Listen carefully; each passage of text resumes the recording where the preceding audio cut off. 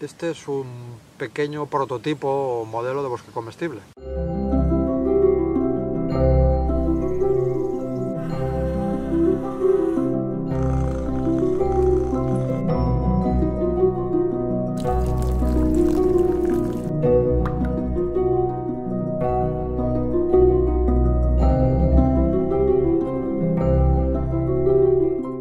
Este es un pequeño prototipo o modelo de bosque comestible. Entonces aquí tenemos uno de los doseles que sería uno de los frutales con un dosel de unos 6 metros que sería un cerezo. En la parte un poco más baja, a 2 metros, tendríamos gojis, frambuesas, grosellas, uva espina, tenemos varias plantas que podrían estar ahí. Luego tendríamos un tercer nivel que sería el herbáceo, aquí representada por las borrajas, que comemos la flor azul las ensaladas y las hojas, o es una verdura eh, muy utilizada por nosotros. Y luego tendríamos un cuarto dosel, que sería la planta rastrera, estas flores que son flores de fresa eh, silvestre, de fresa de bosque, que están tapando todo el dosel debajo. Todavía no han brotado, pero hay otro dosel que sería la enredadera, patatas del aire que no, no se ven en este momento todavía, dentro de poco brotarán. Ahora está brotando una planta que se encarga de controlar los pulgones, ya sea por el olor que emana o ya sea porque luego la utilizaremos como insecticida. El tanaceto es una de las plantas muy utilizadas como insecticida. Entonces ahora vamos a efectuar un poco de desbroce de la capa herbácea que puede molestar un poco el cultivo de algunas otras plantas.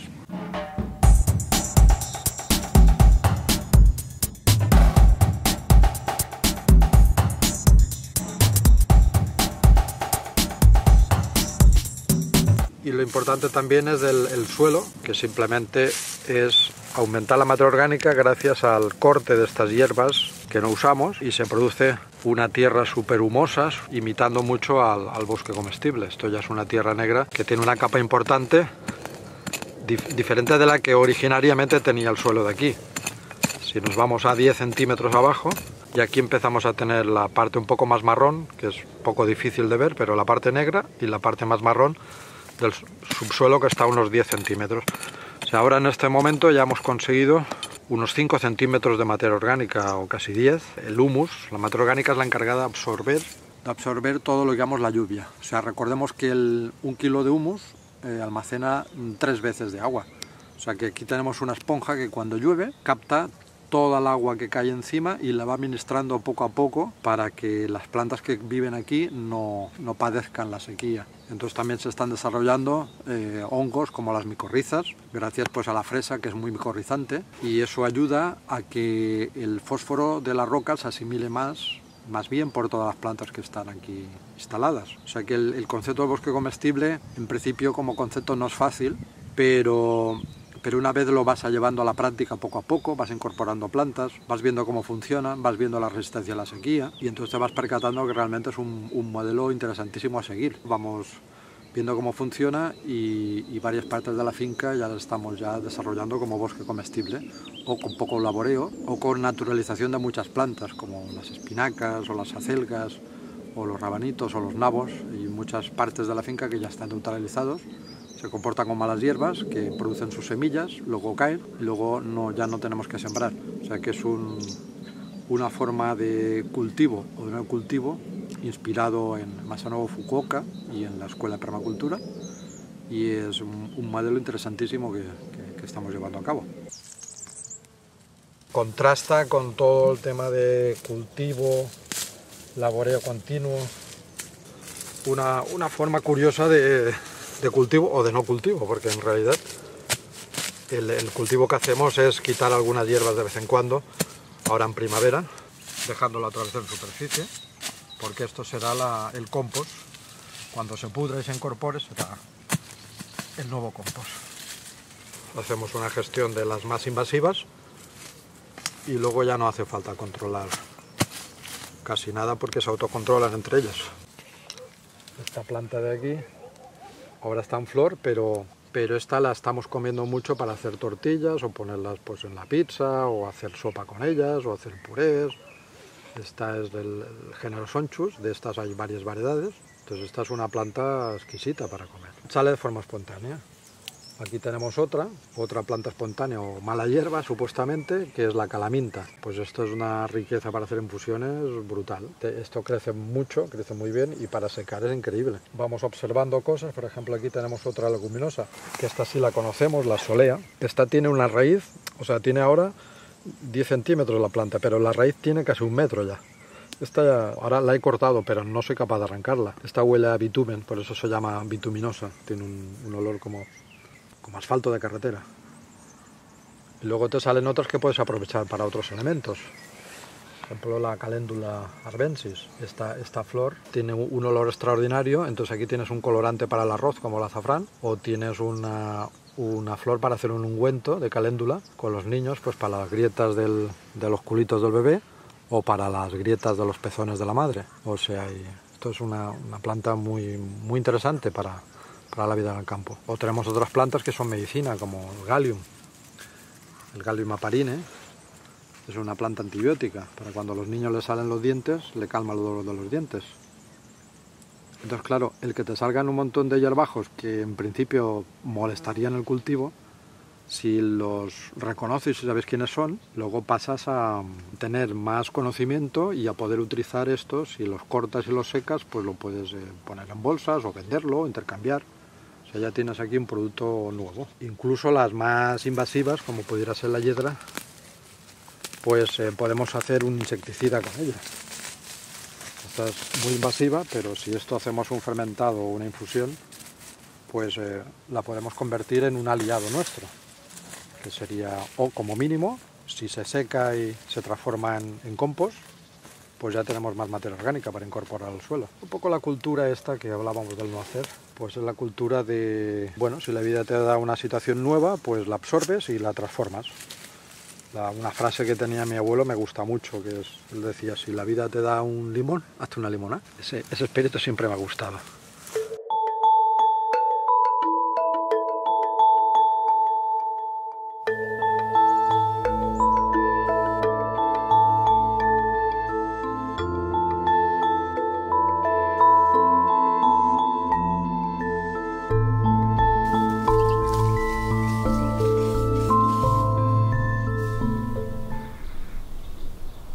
Ha pasado un mes desde que estuvimos limpiando hierbas y mejorando un poco el espacio de este pequeño bosque comestible.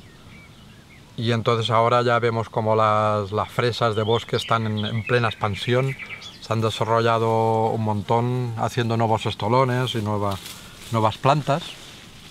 Y entonces ahora ya estamos eh, en plena cosecha, ya empezamos a cosechar las fresitas de bosque que esas están riquísimas y al cerezo realmente le, va muy bien tener toda esta cobertura vegetal que le, impide la transpiración y va muy bien. Entonces también estamos viendo ahora la, frambuesa, cómo se van desarrollando, ya empiezan ya las floraciones. Ahora dentro de un mes ya empezaremos a tener frambuesas. Y cómo se van creciendo por todos lados nuevas matas de frambuesa se está desarrollando el, vergel. La primera planta grande es el cerezo, abajo tenemos las frambuesas, gojis, grosellas. Debajo de las, grosellas y de las frambuesas tenemos fresa de bosque. Tenemos varias plantas de tupinambo, que será la parte, la parte baja, la parte subterránea. Algunas plantas aromáticas medicinales, por ejemplo aquí tenemos la valeriana Todavía nos quedan los restos de la, borraja, que ya ahora ya empieza ya a producir la semilla y a secarse. Un montón de matas de espárragos, de esparragueras. Y luego aquí ya, ya vamos viendo cómo están creciendo plantas, por ejemplo la, chayota, que será la parte, digamos, eh, trepadora esta planta son, se le llama también patata del aire. Producen un montón de patatas comestibles que, se hacen en el aire, es de la familia de las calabazas. Luego también tenemos otras plantas como el tanaceto que ya, que ya vimos anteriormente. Tanaceto, aquí está el, tupinambo, que ya está creciendo y vamos a ver cómo se da debajo, de, debajo del frutal ya se, está, se ha expandido mucho ya se está desarrollando muy bien. están desarrollando varias, varias zonas de Tupinambo, Milenrama, Tanaceto, canónigos están naciendo poco a poco por debajo, están creciendo. Está costando un poco más, ¿eh? pero están creciendo acelgas, cebollas están creciendo por ahí, por el otro lado. Bueno, poco a poco se van desarrollando aquí cosas.